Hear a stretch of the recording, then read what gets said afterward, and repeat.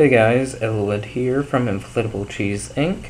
I just wanted to say thank you very much for all the contest entries we got, and the prizes have been distributed to everyone.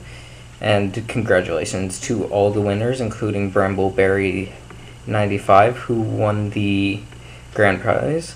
I would also like to say, um, I've decided since I can't upload YouTube videos of large size anymore, etc., because my internet is being special, that I am going to be doing a stream generally.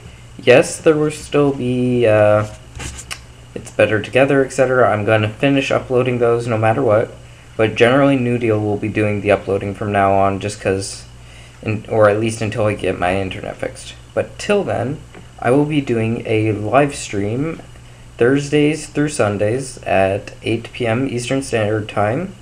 The first game I'm going to be doing is Kingdom Hearts, and depending on when I finish that, there's a poll on my uh, channel, which is down below in the description, and basically it's Twitch TV, twitch.tv slash Elwood, and basically you just click the link, and at 8 p.m. Eastern Standard Time, I will be streaming games you can chat with me in real time, etc., participate in the thing. And yeah, hopefully have a good time. We'll be just chilling out. And yeah, see some quality gaming. It's going to be all raw footage.